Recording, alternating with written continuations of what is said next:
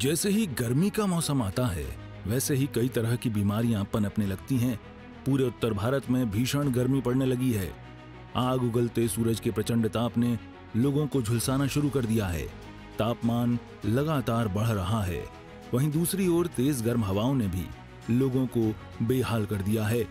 ऐसे में लोगों को हीट वेव का भी डर सताने लगा है।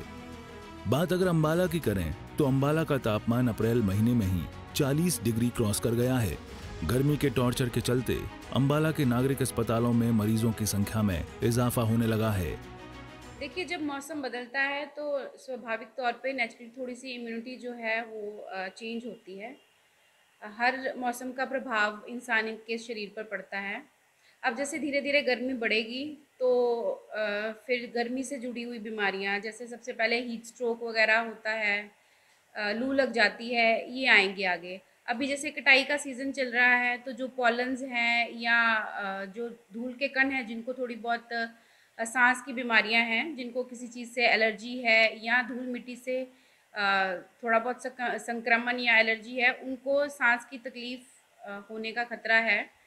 और इस मौसम में हमारे पास सांस से रिलेटेड मरीज़ थोड़े से बढ़ जाते हैं। फिर जैसे जैसे गर्मी बढ़ती है और मौसम थोड़ा और आगे बढ़ता है तो हीट के साथ जो जो बीमारियाँ हैं, वो आती हैं, मरीज़ उसके देखे जाते हैं। गर्मी का प्रकोप लगातार जारी है, जिससे लोगों का जीना मुहाल हो चुका है। भीषण गर्मी में अगर आप घर से निकल रहे हैं तो आपको एहतियात के तौर पर ज़रूरी कदम उठाने चाहिए। सूर्य समाचार के लिए अम्बाला से नरेश सैनी की रिपोर्ट।